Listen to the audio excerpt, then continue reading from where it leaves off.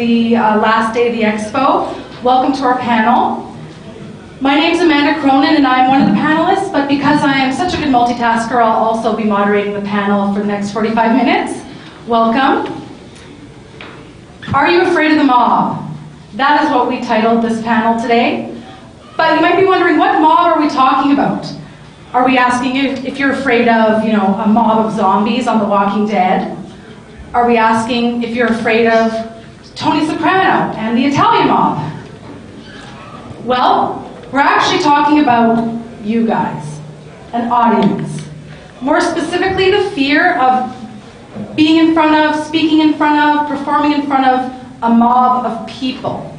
So that's what our panel discussion is going to be today. You're going to get to, we'll introduce ourselves, we'll tell you a bit about our, our background and our own personal stories and overcoming the fear of being in front of people. And we'll open up the floor to some impromptu, interactive stuff as well as questions at the end. A couple notes, our, our panel today will end at 3.15 on the nose. And I think there are comment cards at the end if you want to give us your feedback on how, how the panel went today and what you took away from it. So statistically speaking, most people would rank the fear of speaking in front of an audience higher than death itself, which means that people in an audience would actually be prefer to be dead than be up here doing what the five of us are doing right now. So hopefully today when you leave that you will feel empowered to start your journey to overcome the fear of public speaking and being in front of an audience. As I mentioned before, my name is Amanda Cronin. I'm a mother of two, and I, I, have a super fun job in as a TV producer for a marketing company here in town. And I have been empowered through Toastmasters and through the folks beside me here to get better at speaking in front of people and to get rid of my nerves when I'm doing it. So I'm really glad you're here, and I really hope that you learn from our panels, our panelists here today. I'll introduce our first panelist. He is the public relations officer for um, and a distinguished Toastmaster, and his name is John Bauer. He lives here in Calgary, and he works for the Calgary Airport. I'm going to pass it off to him to give us a bit more information about his background and who he is. John.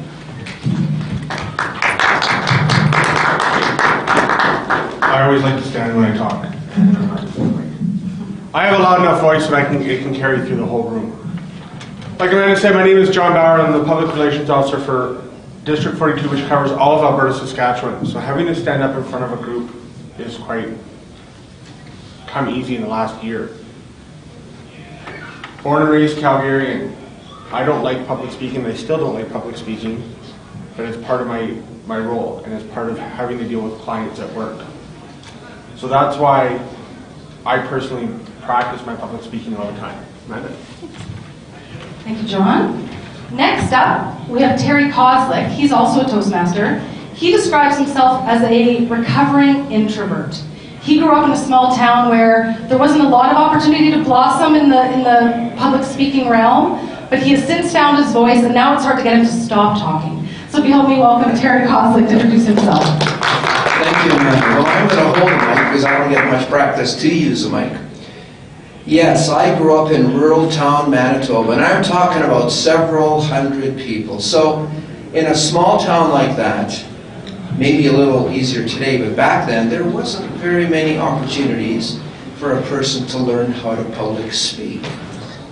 It really just amounted to like uh, shutting, uh, shouting out of uh, car windows as they're moving by quickly, you know, and usually not the best of words. Now, I imagine today in the schools, there are much better opportunities for teaching children how to speak properly. The only practice I got was in grade 8. We had, I think it was in English, we had a project that took, uh, I think the teacher gave us a week. We had to each come up and do a three minute, a three minute presentation, talk about anything under the sun. And that was it. Grade 8. And you would think that, you know, come grade 10, 11, and 12, when students are shaping their, their careers, thinking what to do next, that speaking would be a big part of it. And, and now my wife dreads when somebody asks me a question. so I'm very self-conscious about it. In fact, she's always sitting on my shoulder here. Every time I open my mouth, I see her saying, okay, that's enough, let someone else talk. So Thank you for joining us today. Thank you, Jerry. Our next panelist is Robert Litwin. He's a self-proclaimed geek. He definitely knows his way around conventions like this. He's the president of a Toastmasters club, he's a second officer of a Star Trek club, and he's also very involved as a volunteer for Vulcan Tourism. Help me welcome Robert to introduce himself, please.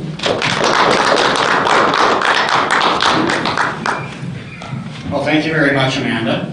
As uh, she said, I'm a self-proclaimed geek extraordinaire. As you can see, I've got my geek on.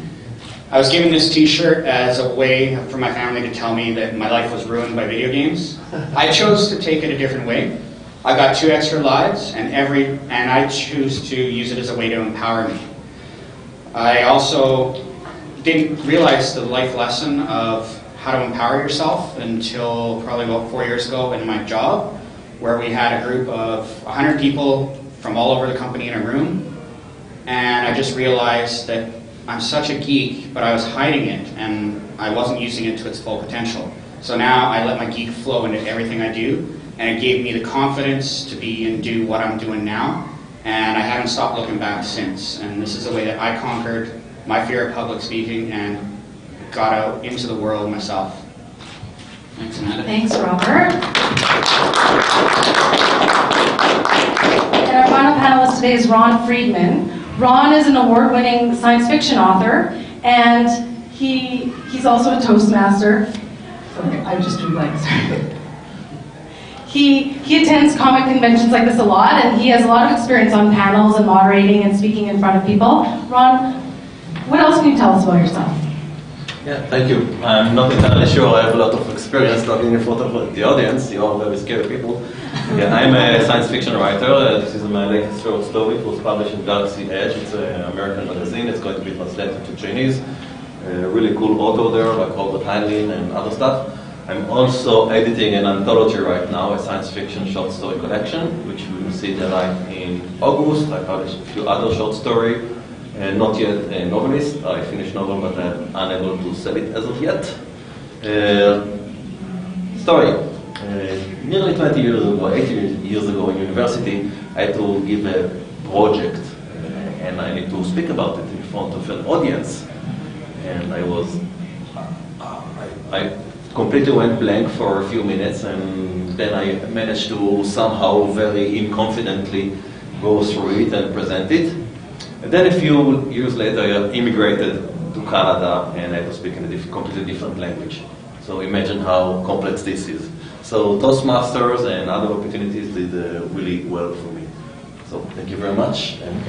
Thank you, Ron.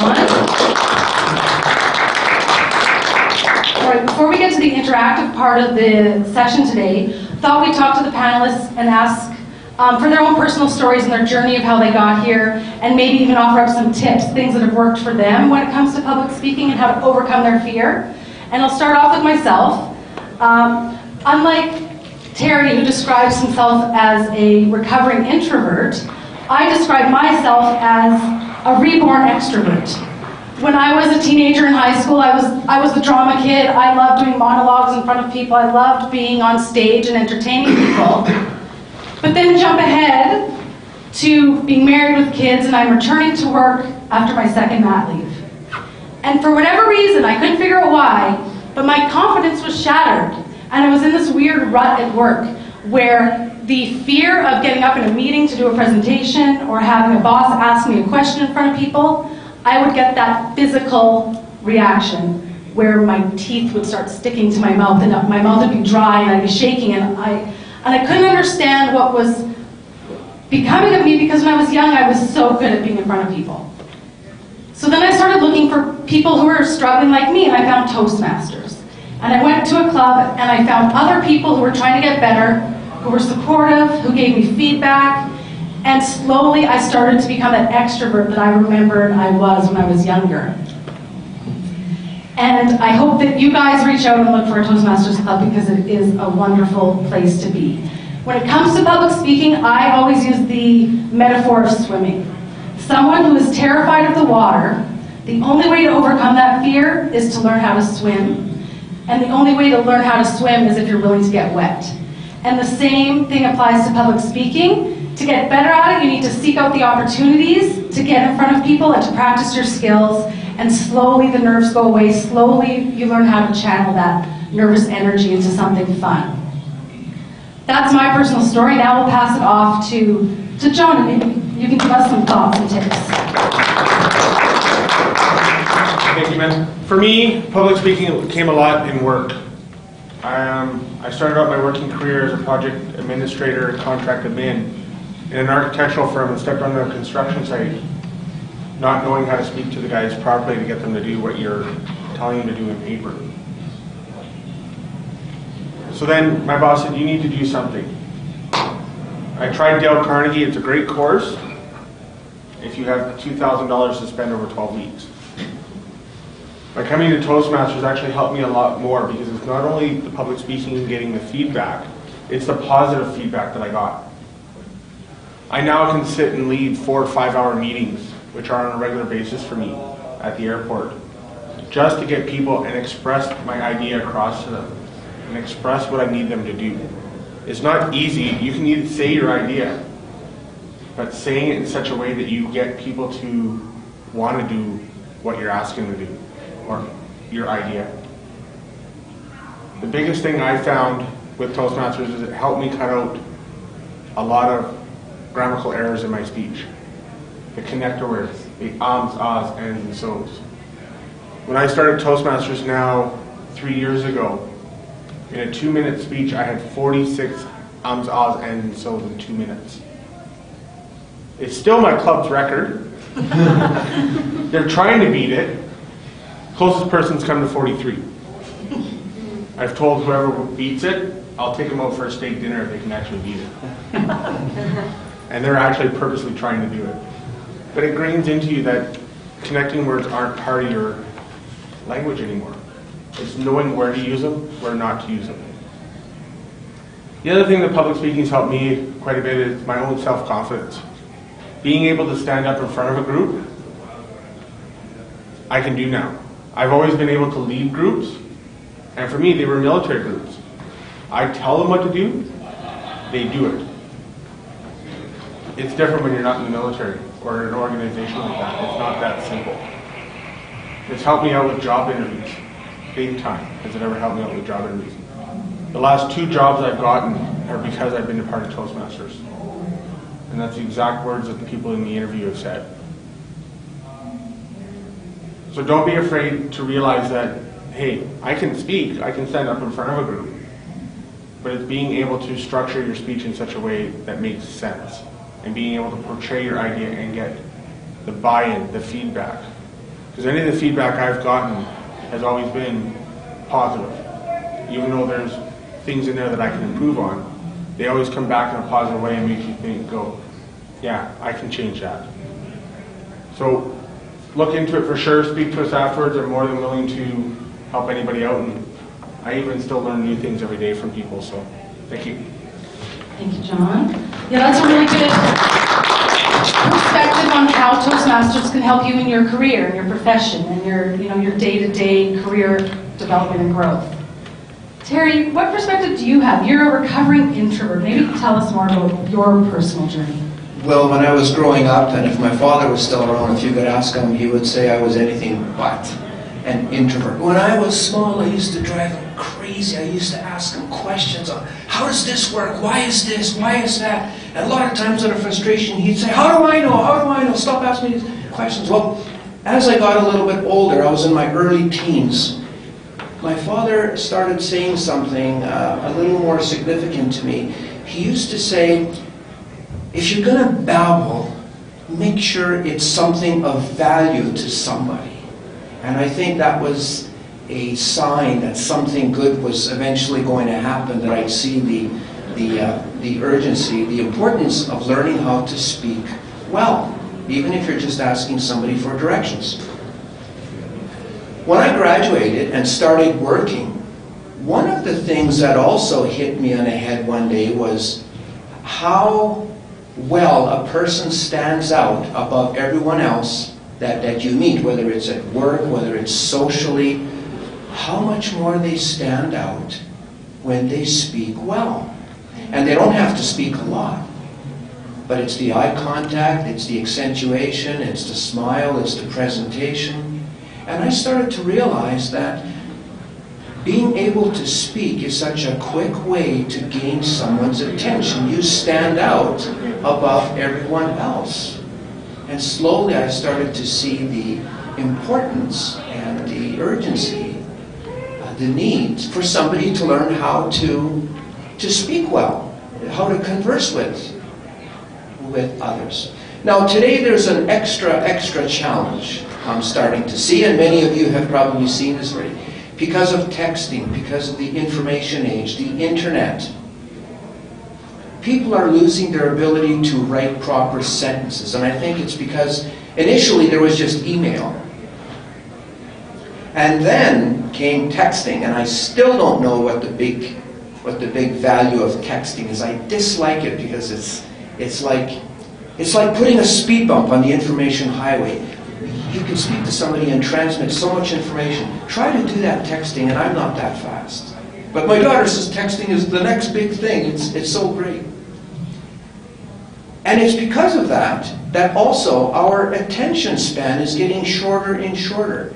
You have to gain someone's attention that much faster today because their attention span is that much shorter. We've become a little more impatient. And I just look at myself sometimes.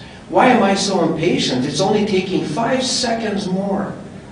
And it's because of this internet age, because we're, we're spending so much time on browsers, uh, for example, that we want it instant. And just because it's five seconds longer doesn't mean it's, it's any worse.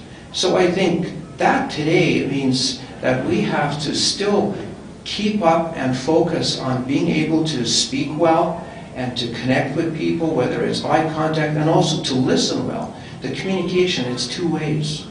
So I think now more than ever, we really need to make sure that our speaking skills are up to par. And it's a never ending. It's, you're never done in a day, a week, a year. It's a constant. It's, it's your soft skills that has to be constantly maintained. I mean, how much time do we spend time shopping, cleaning our cars, cutting the grass? But how much time do we spend on our own personal maintenance, aside from maybe proper clothing and, and being nicely dressed and groomed? We don't spend enough time on that, so I think, think public speaking is a great thing to spend time in.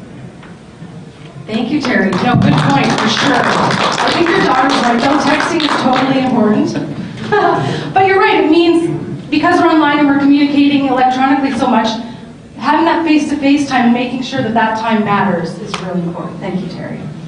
Robert, our self-proclaimed geek, what do you want to tell us about your journey in public speaking and how it's helped you? Well, as I said earlier, it really helped me to realize that I shouldn't be afraid of who and what I am. I was always a closeted geek. I was a loner as a kid and everything like that. I was actually even suicidal at one point. I went into school every day for a week, telling everyone I was going to off myself all day, every day for a whole week. I actually shared this experience with the group of 100 people at work. And as soon as I did that, I also realized the only time I was confident when I was talking about video games, movies, anything geek related. I actually joke nowadays that I have a wireless link to the International Movie Database. My friends hate me so much at movies because I'll be sitting there, I'll see an actor on the screen, and I'm just like, I love that actor from this movie and this movie. And they're just like, dude, shut up, you're ruining the movie for me. But I realize that this is my strength. It's where all my energy comes from. And in order to be a good leader or to be a good person, period, to, to be able to communicate, to be a leader in anything, you need to have that confidence. So I take all that energy from all this geek stuff and I channel it into everything. So, for instance, one of the first times Amanda ever came to a Toastmasters meeting, I did a five to seven minute speech and gave the entire history of the new Battlestar series from start to finish. And I hooked her just like that because she was like, What? You're talking about Battlestar in a Toastmasters club? Like, wow. And we probably wouldn't have her here if it wasn't for that. I, I could be wrong about that, I don't know. But the point is, don't be afraid of who you are. Just channel everything you can from what you're good at into everything you do. That's why I'm now working so hard with Vulcan Tourism. Started this Star Trek Club in less than a year, going to all these cons. I moderated a panel here, and you know I'm going to continue to let the geek flow for all eternity because that's where my energy comes from. And if you can't express what you're doing or what your passion is, you're really not living up to your full potential. And that's what you got to do is just harness that energy and keep it going full force. Thanks, Robert. You're right, it's all about building your confidence and channeling your passions. Who knows, maybe there'll be a Battlestar Galactica panel next year and Rob will be moderating it. You never know, right?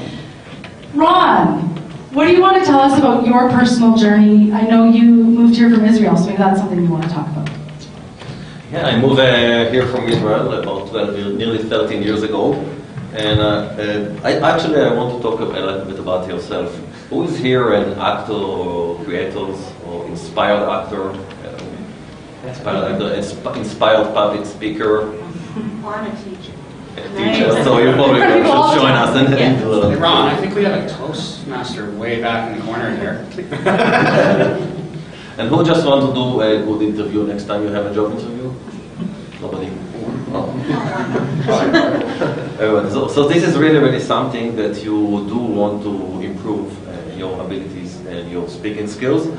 Uh, I want to give you two tips that I learned in my uh, two decades of uh, experience. First one is always try to step outside your comfort zone. Like if you are afraid of public speaking, or afraid of standing in front of the audience, jump right in, try to do something, and very, very soon we're going to actually give you the opportunity to do that. And the other thing is, don't listen for people who tell you what you can't do, because then you really can't do that. I can give you a couple of examples. I started writing in 2005. Before that, I was a gamer, and then my wife told me no more games for you. So can I write science fiction? Okay.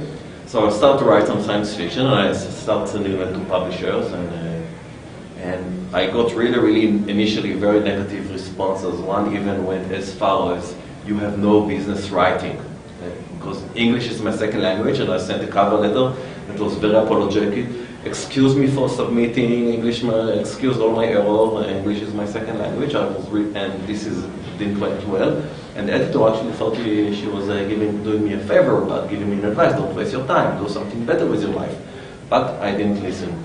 Another example is uh, from a family event. Uh, my wife, uh, I'm from Israel, so the family event is a bar mitzvah.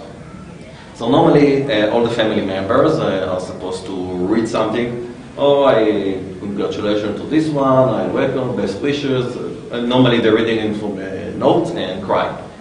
I came and I start with a joke. Oh, I forgot my notes. And then I went and started. It was before Hanukkah, so I started to do a speech about Hanukkah, about the Greeks and the Romans. And when I showed this speech uh, before the bar mitzvah to my wife, she told me, "Don't do that. It's very, very bad." But as uh, the advice I'm giving you, I simply ignored her. And everybody, including the rabbis and all the other guests, came after and said, wow, that was really a nice speech, really speech. You could be the rabbi yourself.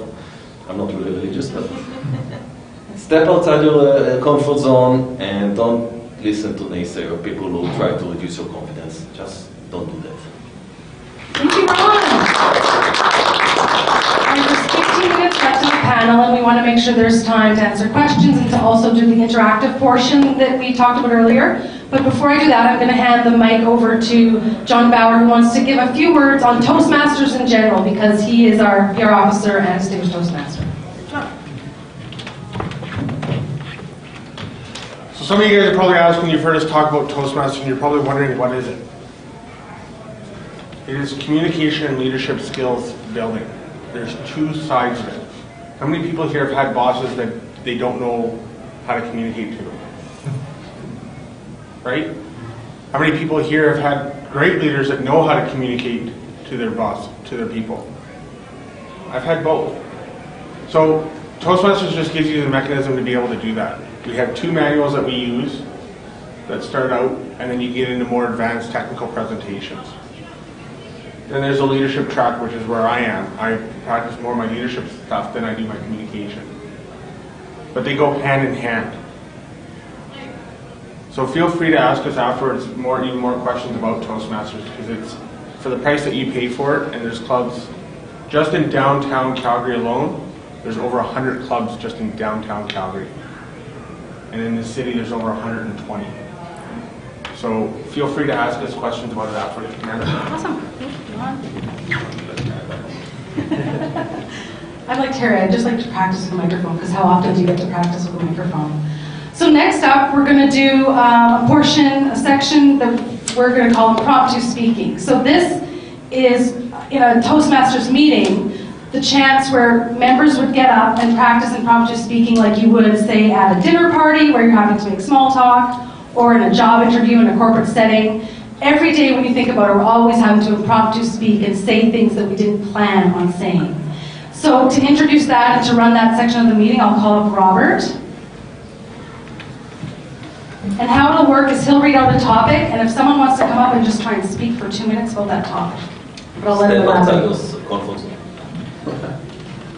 First off, I don't want to throw you guys to the wolves right away. So what I'm going to do is I'm going to give an example. Uh, Terry has graciously uh, volunteered to answer a question.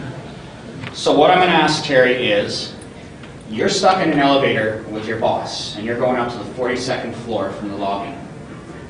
What would you say, or how would you approach a conversation with him so you're not hearing crickets chirping in the elevator for the whole tour? Well, that's, that's rather interesting because some of the, some of the bosses I've had in past are not people who are comfortable with someone in the elevator, a coworker like me, asking them a question. So it may be just the crickets going up. Well, I'm assuming that it's uh, a boss in my immediate group. Uh, Probably I would stick to something work-related. Depending how well I know them, I would probably ask them to elaborate something about the current project, uh, remembering, of course, that you don't want to put them on the spot. Uh, The elevator time, you don't want to ask them a detailed question where it takes a 10-minute answer, and sometimes even the weather or the weekend might be something good to talk about. And that's something that a lot of people do. They talk about the weather, and I think that's just a mild way of breaking the ice and speaking to, uh, conversing with somebody, just talk about the weather. It is a bit overplayed because everybody's heard the, the the skit so much, but I- I'd probably just stick to something simple like that. Okay, so basically what it is, I just hit him with a question that he wasn't expecting out of the blue, and the whole point of this exercise is to get you to think outside of your comfort zone, get comfortable with just on-the-spot thinking. Now, of course, we're at a convention, so a lot of the topics I'm gonna maybe bring up are convention-related. Uh, Unfortunately, I don't see any real branding in the audience for any particular genre. I was really hoping that there'd be like a Star Trek fan or, or something. Oh, we do have some Star Trek fans. Oh, yeah. So the first question I'm going to pose is, which universe is better? The Star Wars universe or the Star Trek universe? Now I'd like someone to come up and just speak to the topic for as long as you can, up to two minutes, if possible. Uh, I'm gonna try.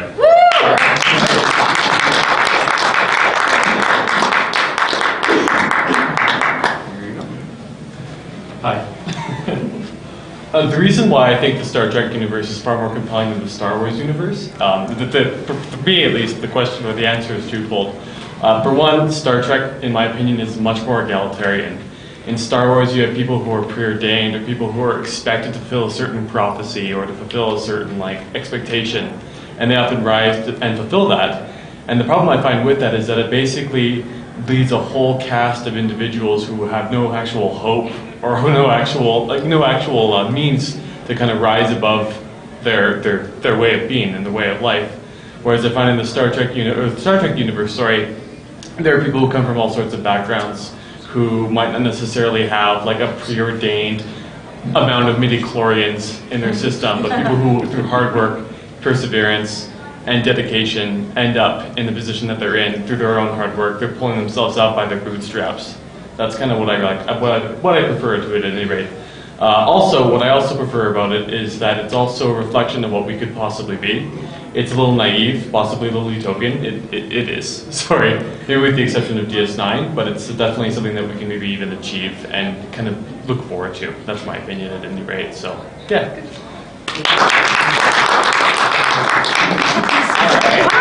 Nice round of applause. Are you a Toastmaster? Are you Toastmaster? No. Was that topic maybe a little too easy? All right. Now, I can't tell. Is that like a Jurassic Park So spoof on? Evangelion slash Jurassic Park. Ah. That's what the Freudian influences of Evangelion. Would you care to come up and decipher what exactly that shirt means? No. I won't be on the spot for that, but Go for it. You want unless it? you want it. Uh, maybe not an Evangelion topic. I don't know. Oh, should be one. Okay. We'll, we'll go with something a little easier. Um, everybody here, of course, loves superheroes. They have someone who's influenced their life or given them something to dream for. So, who is the what is the one person or character that has really given you confidence or inspired you to become what you want to be? Whether it be Batman, Superman, even someone in your personal life who maybe helped you come on up and be what you want to be.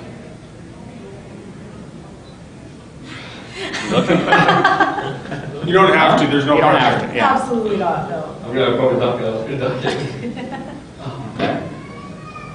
All right. I guess we'll go to the other universe then. We'll go with Marvel versus DC. That's too easy. It's too easy. I don't need to read either. Either. Oh, well, we'll have to fix that at some point. Okay, I'll do Marvel versus. DC.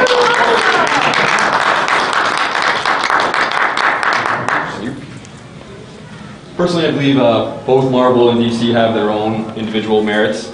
Uh, I view DC as kind of having a, the iconic pantheon of classic superheroes, um, kind of that uh, kind of stand uh, above the almost common mortals, whereas Marvel has uh, their characters are much more almost down to earth and have flaws that you can see in uh, that more common man struggles with. Tony Stark is an alcoholic, Daredevil's blind, um, whereas Clark Kent doesn't necessarily have those kind of issues. Um, but it they um, have different kind of challenges that they have to overcome.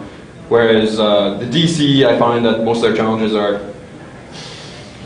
to some degree, uh, oh, they're outside sources almost. Whereas a lot of uh, Marvel characters kind of have internal struggles, more so I'd say. But I do enjoy both series, uh, both brands, uh, quite a bit. Although I believe that Marvel's accomplishing uh, handling their movie slash uh, TV universe uh, in a much more. Uh, it's better planned out. It's better fashion. All right. Nice. Thank you very much for voting for braving this wonderful world of public speaking. You've now been christened, and you're welcome to a Toastmaster meeting at any time. I'm going to pass it back to Amanda here. Thank you. No, good job to our volunteers because that's that's not easy. And I imagine that when you were coming up here, you probably had butterflies in your stomach. You probably, your mouth probably started feeling dry. Your heart was pounding. And the real way to get over those feelings of nervousness is to do it and to do it lots. And that's what a Toastmasters Club gives you the opportunity to do. So we have five minutes left, and wanted to make sure we left time for you guys to ask questions if you had any about um, for any of us personally, for uh, about Toastmasters in general, any questions you might have for us. Go ahead, our How teacher. do you, how do you join Toastmasters? That's an easy question. Well, leave it to the public relations office. Send me an email. Oh, thank you. No, it's actually pretty simple to join Toastmasters. Like I said, there's over 100 clubs in the city, so we can find one that's close to your house or your place of work, depending on what best suits you. Um, the fees are usually pretty reasonable. They range between $100 a year to 250 a year. and you go as much as or often as you want. Most clubs meet weekly, but if you can't go weekly, then you go as often as you can. Go ahead, another one? Uh, well, when you do join, you're not just thrown into the water, are you? No. It just No. seems a little bit. you It's know. totally go at your own pace. Um, John mentioned that there's manuals that you follow. The manuals have speech projects in them, and it's totally up to you how fast you want to do them. No one's going to say, hey, your turn to speak this week. Totally up to you. And one of the reasons we're all nervous to get up and speak is because we're worried the audience is judging us. Or we're worried we're going to flub our words and become a puddle on the floor, right? The nice thing about a Toastmasters club it is, is it sorry, it's 100% safe and encouraging, and everyone's in it together, and it is the perfect place to practice and get used to it and not feel like you're going to be judged, not feel like you're going to embarrass yourself, and it's go at your own pace, no one's going to pressure you to speak. Terry, can you pick your own topics? If there's something I could quickly say, I've often wondered why does it work so well? It's because people are competing against themselves. I've been on a number of volunteer groups, and uh, there's still that problem there when you see people competing against each other like they do at work. But in Toastmasters, everyone is willing to help you, coach you, and mentor you because everyone is competing against themselves, and everyone's at different levels. And everyone else respects that. So that's why it's so relaxed and positive results, and we have a lot of fun doing it too. Not only that, um, I actually have our first manual right in front of me. The first speech is titled The Icebreaker. It's just a quick four to six minute speech about you. What do you want people to know about you? Doesn't matter what the topic is, as long as you can work it into one of these manuals. The Great thing is, is it's structured in such a way that everything builds on the previous manual. So, first one is just getting comfortable with public speaking. You're the subject matter expert of yourself. You know yourself better than anyone else. It's easy to speak about yourself. In fact, everybody loves doing it, especially Toastmasters. But from there, you build on working on things like vocal variety in speech six. Speech nine, you're working on trying to get people enrolled in your vision or your idea of what your speech is about. And everything just builds on each other until you're done in the first 10 speeches. Then you get into advanced stuff where you can do five speeches on storytelling or other things. And you can cater it to whatever your needs are. You can even do technical presentations, so you can use it great in your job. And that's what it's all about. And yes, Toastmasters is 100% safe. I mean, I spoke about Battlestar Galactica in the middle of a Toastmasters meeting. I spoke, I did a speech on Ogopogo. You know, the, the really the sky is the limit for everybody, and it's all in, designing a safe way for you to do so without fear of recrimination or fear of anything, because we're all in the same boat. We're all here to help each other together. Uh, if I provide you feedback, it's because I want to see you grow and see you develop yourself, as I would hope that you would do to me as well. And that's what it's really all about. Did anyone else have a question for the panel? Um, sorry, Yeah, go ahead. Go ahead. Um, I'm, I'm just curious um, to know, again, what kind of brings people to Toastmaster, and also, um, is it, I guess I'm looking for normalcy of uh, different skill sets in public speaking, and whether Toastmaster could help a person that kind of has these, these moments of, of positive, you know, feeling that, that moment where they can speak, and then other moments they just totally feel like they can't say a word, even though they might even know something about the topic, but all of a sudden it's like they've lost their voice. One, 100%. Um, you hit it kind of on the nail. I joined it because I needed to do something to improve my own self-confidence and stand up. And I do still go blank when I'm asked a question. That's why we do kind of things like table topics is to help you kind of stop, pause, and restate the question. Now every club has their own makeup of members. So some members are very, very experienced and some are, are not. But it depends on which club you go to because there is newer clubs and there is older clubs. There's also advanced clubs, which me and Terry are a member of. And out of our advanced club alone, there's not what one person that there's what three people that don't have the distinguished Toastmaster. So when we do evaluations, we're pretty hard on each other. But in normal clubs, they're not. So if you fumble through your speech and you have your notes in front of you, which I still have my notes in front of me on most spe- on some speeches, because you can't memorize it. And part of it is we help you realize where to take that pause. To maybe step back, look at your notes, come back, and present. So we'll help walk you through that. But it's you get out of it what you put into it. So if you want to learn those skills, then that's what you tell maybe your evaluator. You know, I want you to watch out for this particular thing that I seem to be doing. Not only will they do that with speech objectives, but they'll do that with on the side as well. like I can share with you a very personal experience. Uh, we chartered the sh- the Toastmasters Club within Shaw Communications about four years ago, and I decided I'd be smart, and I was a go-getter, and I figured, you know what, we're going to have our big charter party warming, and I'm going to do a speech in front of the highest guys within the district for Toastmasters. So I'm talking our lieutenant governor of marketing, our go- district governor for all of Alberta and Saskatchewan. I'm going to do a speech in front of them. So I did a five to seven minute speech. And in that five to seven minute speech, I used the word basically 37 times. One of them actually counted that. And they came to me and they provided me with that feedback. I wouldn't have known that otherwise. Luckily, I had someone videotaping it and I watched it a little later. But the point of the matter is, is that's the kind of feedback you get. Because if, if no one would have shared that with me, I could be doing that all the time. And that's not what we want to do. We want to really help you develop when to use the ands, so's, and that, like to get rid of them. Um, and basically go back to how do you actually communicate. I was actually on the verge of almost getting let go from Shaw because my communication skills were considered detrimental to business. Because my heart was always in the right place, but the way that I communicated things to people wasn't the right way. And it came to do or die, like you either fix this or you're gone. And at that point in time, I had actually just gotten my confidence level started up with Toastmasters. And then I had to go back to the drawing board, and, and these guys helped me through that of trying to get myself into the point where my communication skills are exactly where I want them to be. And without these guys, I wouldn't probably be there still today. I think if I could add something very quickly. Our time is up though, I think. After I received my first level, I really honestly didn't think I was speaking that much better. But I did know that I was a lot more relaxed. And that's a big first step, is just being relaxed when you speak.